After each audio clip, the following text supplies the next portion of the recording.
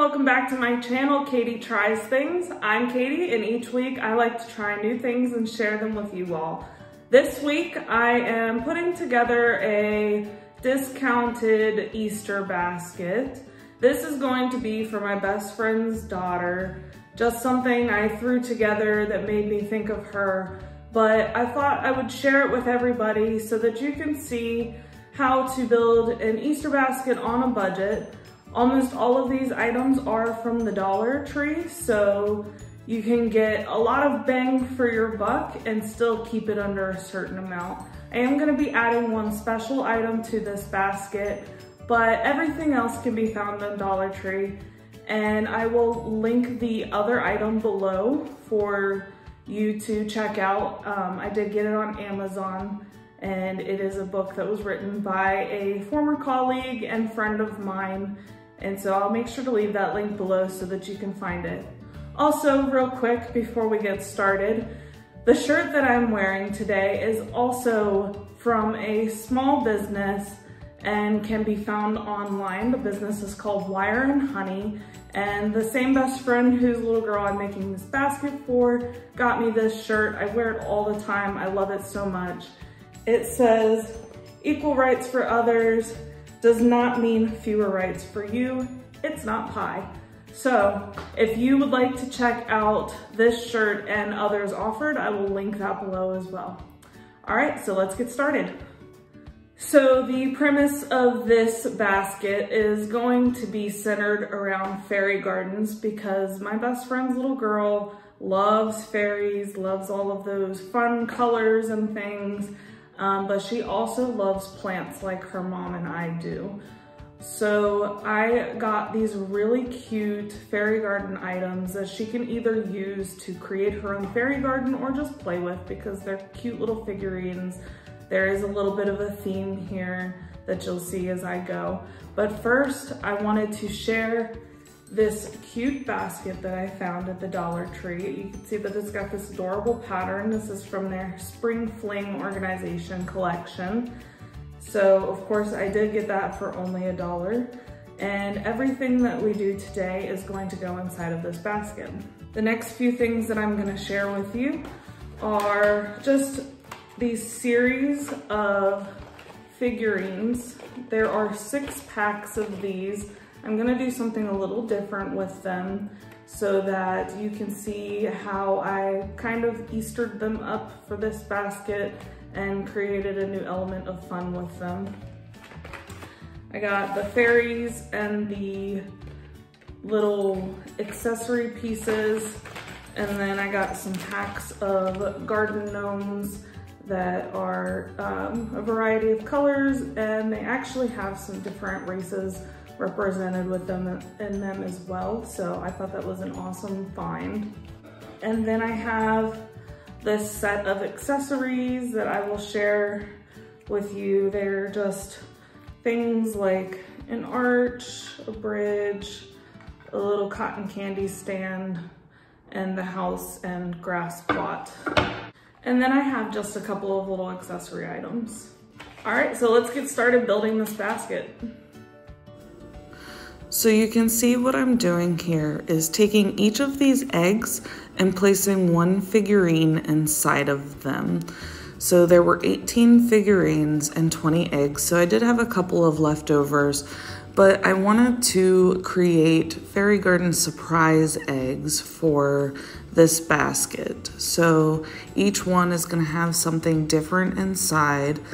I did opt not to do candy for this basket because I knew she would get a lot of candy from other places and I figured that this would be something kind of different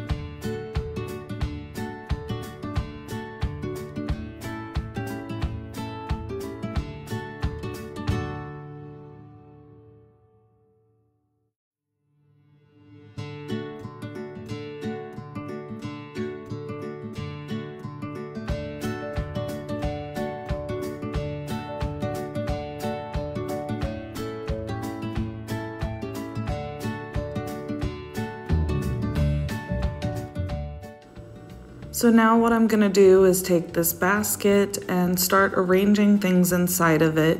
You could do Easter grass in this to kind of give it a little filler.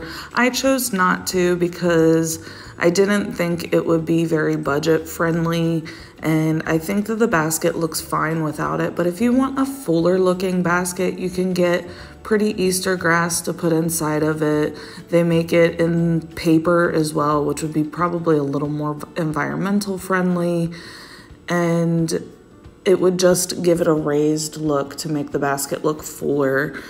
I thought that just for this purpose, I could use the eggs on the bottom and I could just fill the rest of the pieces in around the eggs and I thought that worked fine. I thought it worked without the grass.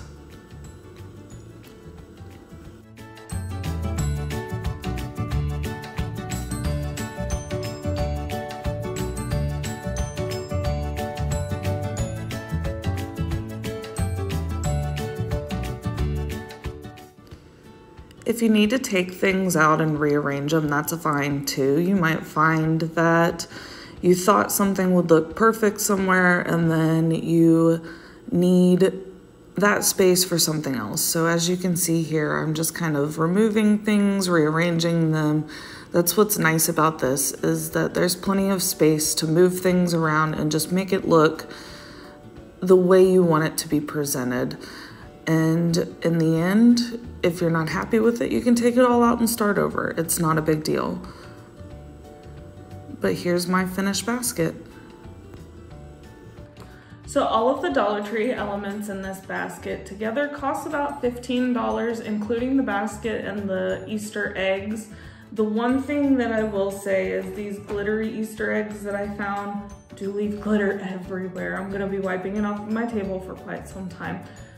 But I do love the ones with the designs. I have seen them in white with the cute little designs on them. And there's a lot of different options at the Dollar Tree. I got 20 eggs for $2. That's a pretty good deal. And I just created basically little surprise eggs with them. Each one has a fairy related surprise in it. So just another fun element that you can create in the basket for really cheap. The last item that I'm going to include is this book from Terrance. It is about seven or eight dollars on Amazon, but I'll link that below if you're interested in checking that out. And other than that, this is a great way to create a very, very budget friendly, even with this, it's a very budget friendly Easter basket for a special child in your life. So that's it for today. Thank you for joining me for another video on my channel. If you like what you see in this video, give it a thumbs up and comment below your favorite part of the basket or an idea that you would have for a basket from Dollar Tree. I would love to hear the kinds of things that you do that are a little unique and really fit the interests of that special child in your life. Make sure you hit that subscribe button down below and the notification bell so that you get notified every time I post a new video. And don't forget to follow me on social media. I will leave those links at the end. As always, thanks for joining me and I'll see you in the next one. Bye.